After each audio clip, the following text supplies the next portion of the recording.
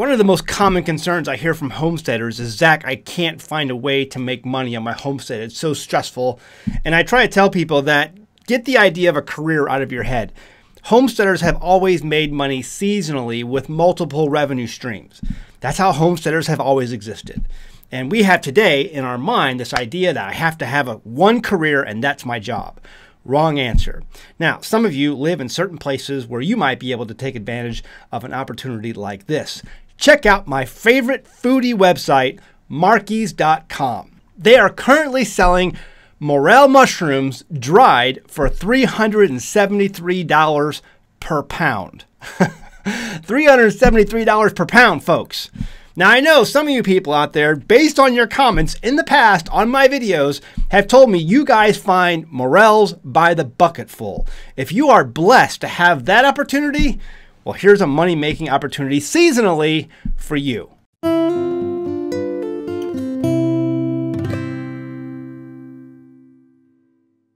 Okay, so a while back on a video, I got a lot of comments asking for my recipe on pickled eggs.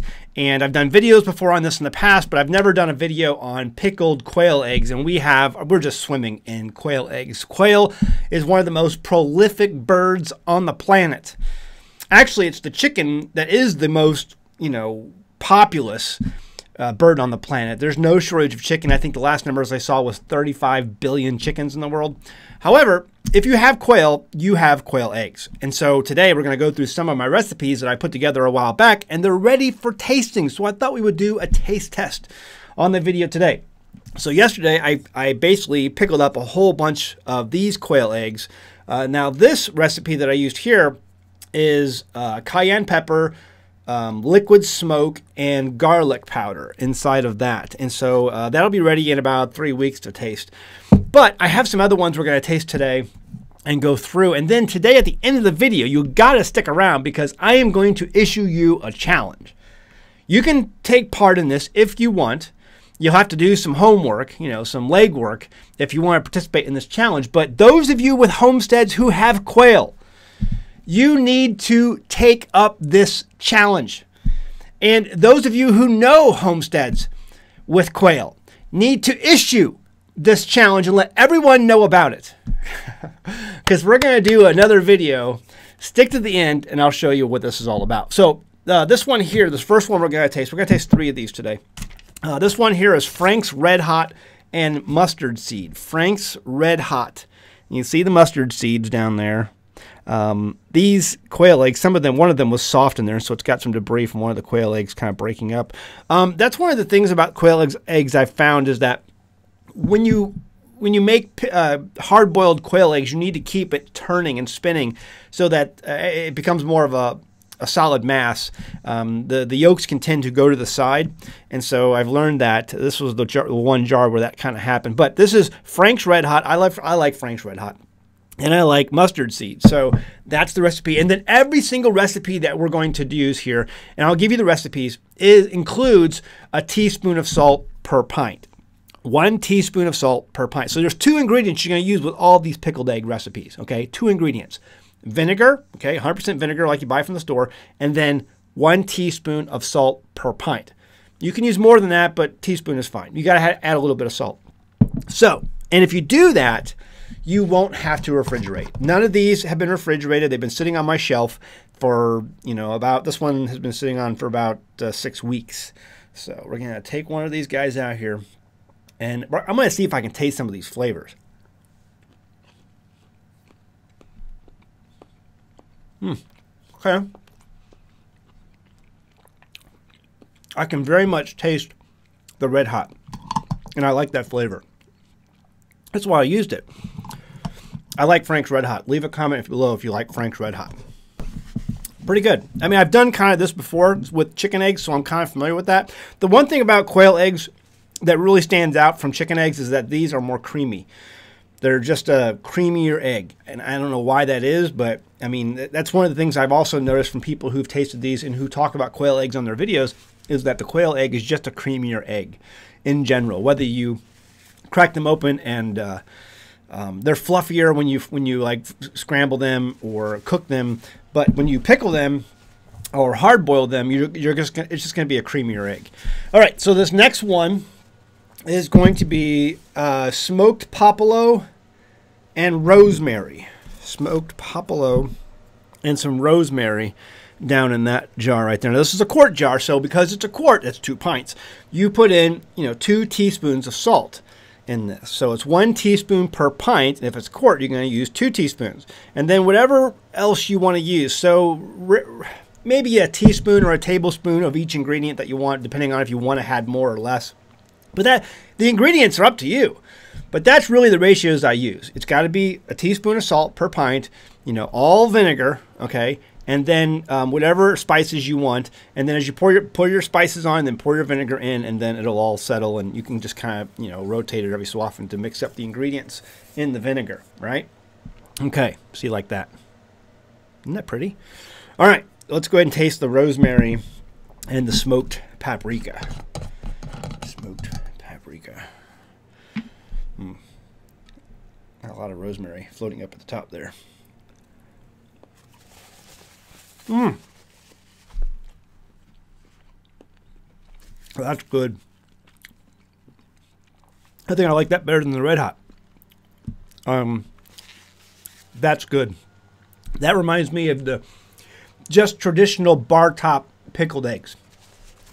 If you guys, are, I mean, some of you guys who are old enough to remember, most bars in America used to have a jar sitting on the bar top with, you know, full of pickled eggs. We don't do that today because food inspectors will come into this place of business and tell them you can't do that. And the reason they tell them they can't do that is because the world's full of lawyers, and lawyers ruin everything. So thank a lawyer next time you, you walk into a bar and you don't see pickled eggs on top of the bar top. Um, because that's dangerous.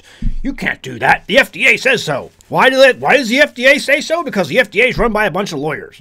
Okay, next one is going to be.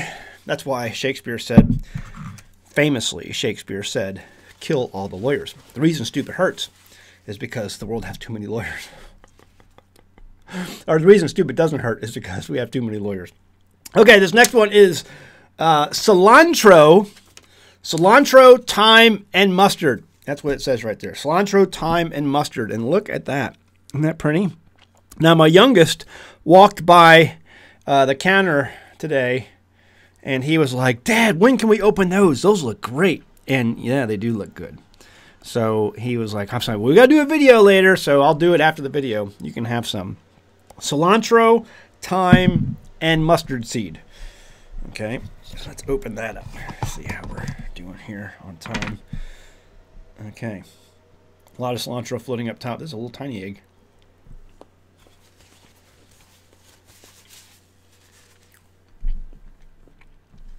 I'm trying to figure out, again, very creamy. The eggs are just creamier than chicken eggs. I'm trying to pick out the cilantro, and I just can't do it. I don't taste any of the cilantro. I was hoping to taste cilantro. And I put a lot of cilantro. I think I put a whole tablespoon of cilantro. I'm seeing all the cilantro floating up there. And this is dried cilantro. Okay, so I got dried cilantro. We, we get it in town uh, from a Mennonite pantry. And um, I, uh, I was hoping to taste cilantro. I don't taste cilantro. I taste the thyme and mustard. I definitely taste that. All right, I got to do this again. Let me do it again.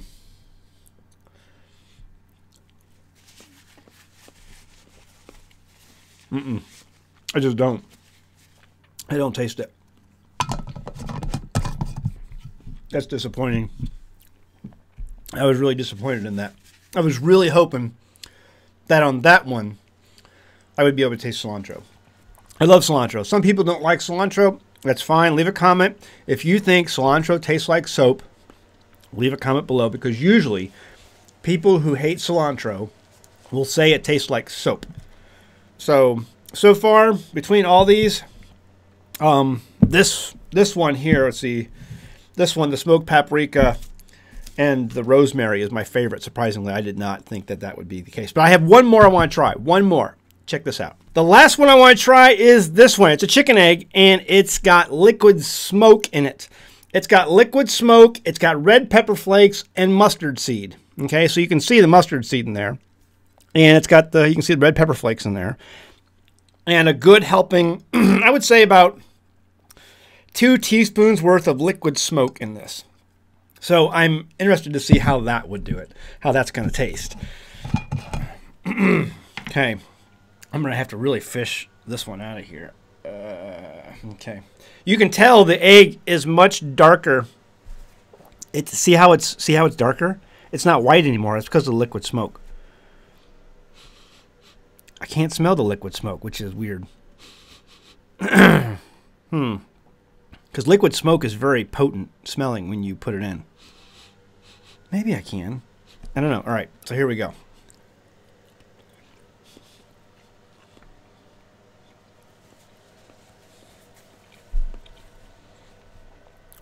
I can't taste it. Mm, maybe. Maybe at the end there I can taste it.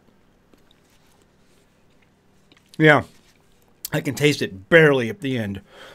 Um, but that's disappointing too because I really wanted a smoky egg. Maybe next time I'll put two tablespoons of liquid smoke in this and see how this. That's I did a. I don't remember how much did I put in this. I got about a teaspoon of liquid smoke in this one, but this one won't be ready for about six weeks. Uh, I just did that yesterday. Um, these have been in for about six weeks, and so you can tell the definite color difference because of the liquid smoke, but it's not. It's not. Uh, I can barely taste it. That's disappointing. Okay, so here's my challenge. Here's the challenge I want to issue to anyone out there in my audience to participate in, especially homesteaders with quail. Okay, and especially those of you who know homesteaders with quail. This is my challenge. I want to know if you want me to try on my channel on a video for the first time ever. I've never done this before. A balut. Would you want me to eat on camera for the first time ever a balut? Do you not? You don't know what a balut is. I hear you now. What's a balut? A balut. Should I tell you? Make you go figure it out, and just imagine the look of sheer horror on your face. Every time I describe to someone what a balut is, you just see their face go. Those of you who know what a balut is, put a comment below. so it has to do with quail. Okay, um, we have we have we have the ability because we have quail and because we hatch our own eggs, we have the ability to create balut here on this homestead. Now, balut is something that millions of people eat every day in Asia and Southeast Asia, the Philippines, Indonesia. They eat this every day. So when you think about street food in America, you think of hot dogs and hamburgers, french fries. When you think of street food in Southeast Asia, Indonesia, the Philippines, you think of balut. Oftentimes you think of balut, and oftentimes it's made with, you know, uh, chicken eggs or duck eggs. However, the delicacy of balut, the high end of balut, the high end is always made with quail eggs. There is a homesteader, and we're going to talk about this in the video that we do, if we do it. You guys decide below if I should do it. There's a homesteader out there, and I'm going to open your eyes to this because I want you guys to be able to make money. Remember, at the beginning of the video, so many of you say, Zach, we're having a hard time making money. This homesteader out there, he sells 80,000 balut a year. 80,000 balut a year. And he's a homesteader. I want to I want to I want to share this because there's a there's a huge market for it for it even in the United States. He's got to know where to look. He sells 80,000 balut a year. I think he sells them for 50 cents a piece. So you do the math on that. do you want me to try a balut on video? Leave a comment below. That's the challenge. And anyone out there who has quail, my challenge to you is eat a balut on video. We'll call it the Quail Balut Challenge. If you don't know what a balut is, look it up. B A L U T. B A L U T. A balut. We'll do a video on it and we'll eat it right here on camera on an American homestead. All right, guys, love you. Leave a comment below. Hey, listen, I'm going to be at the Homesteading Expo in the Ozarks over at Marshfield, Missouri, coming up in just a couple of weeks, less than two weeks. At the end of the month, 24th and 25th, I believe I will only be there on Friday with my booth. Um, I'll, you know, depending on what happens, I may be there on Saturday to, you know, just visit with people, but On Friday, I will be speaking 8:30 in the morning. Joel Salatin will be there, also the Chicken Man, and so I'm bringing all my chicken shirts farm fresh butt nuggets, and my pets make me breakfast. I'm bringing on my chicken shirts. So if you want a chicken shirt, uh, if you like Joel Salatin and all of his chicken tractors and all that stuff, uh, come stop by my booth. It's going to be fun. There's going to be a lot of people there because Joel Salatin's going to be there. Thankfully, I'm not speaking at the same time he is because then no one would be there at my tent. I should be by myself.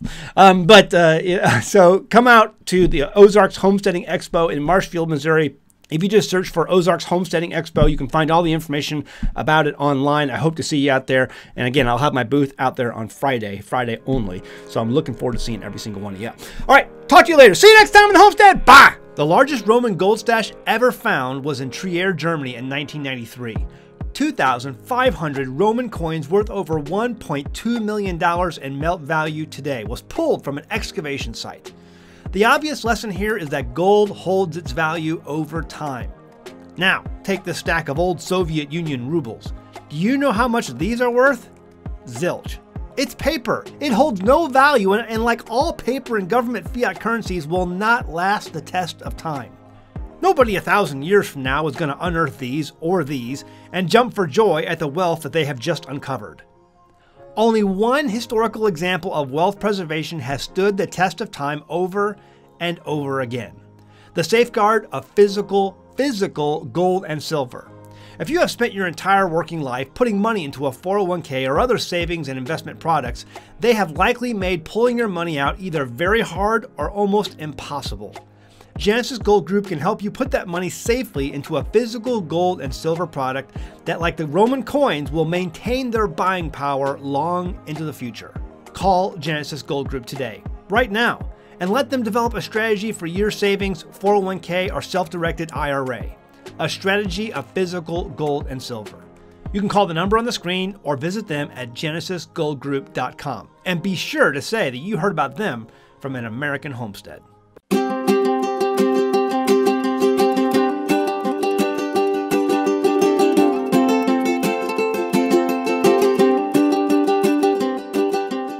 Hey guys, did you know you can become a patron of an American Homestead? They get access to private videos, and we send them gifts from the homestead that we make here on the homestead. And we also enter our patrons into special giveaways that are only available to them. And before you go, please check out these other great videos. Go ahead, click. Oh wait,